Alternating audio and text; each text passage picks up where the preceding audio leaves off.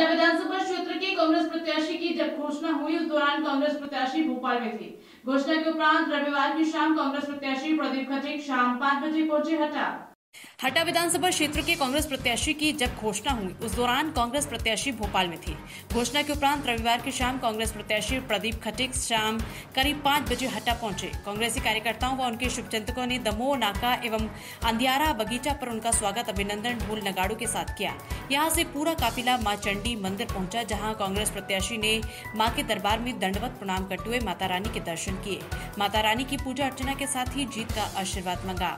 गौरतलब है कि भाजपा ने अभी तक हट्टा विधानसभा से अपना प्रत्याशी घोषित नहीं किया है, जिस कारण मुकाबला कितना रोचक होगा कहना अभी मुश्किल है। वहीं लोगों को इस बार बहुजन समाज पार्टी के प्रत्याशी का भी इंतज़ार है।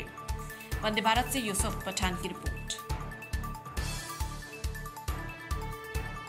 कांग्रेस पार्टी ने आपको हटा विधानसभा से प्रत्याशी बनाया है।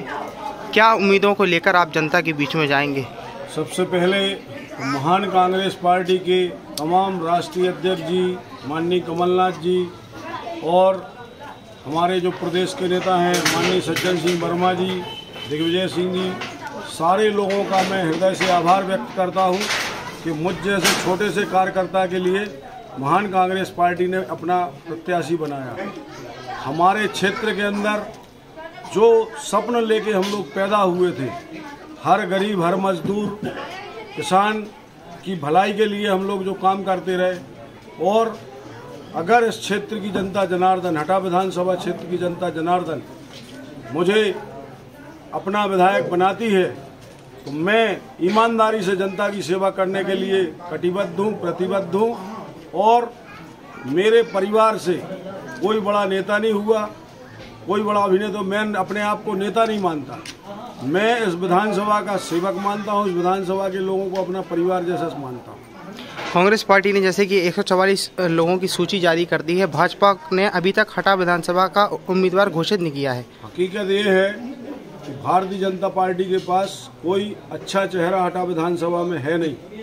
वो जो पिटे पिटाए चेहरे हैं उनके ऊपर दाव लगाएगी और इस क्षेत्र की जनता पहले भी उनको सबक सिखा चुकी है और आगे भी सबक सिखाएगी। क्या लगता है आपके भाई नगर पालिका अध्यक्ष हैं? जनता आप पर कितना विश्वास जताएगी?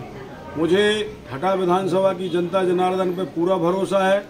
वो सच्चाई का साथ देंगे। भारतीय जनता पार्टी का छल फरेब हिंदू मुसलमान ये सारी चीज़ें इस विधानसभा में नहीं चलने वाली हैं। यहाँ पे लोग आने वाले भविष्य के लिए चुनेंगे चुनाव करेंगे। और जो हमारा क्षेत्र 18 साल से यहाँ पे भारतीय जनता पार्टी की सरकार है 35 साल से भारतीय जनता पार्टी का सांसद है। कई गाँव ऐसे हैं जहाँ पीने का पानी नहीं है, रोड नहीं है।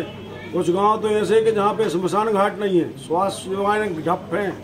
किसानों के लिए, उनकी फ़सलें बेचने के लिए व्यवस्थाएँ नहीं है। स्कूल है, लेकिन मास्टर नहीं है। तो इस टाइप की जो हमारे क्षेत्र की भयावह समस्याएँ हैं उन समस्याओं के लिए मैं शुरू से लड़ता रहा हूँ।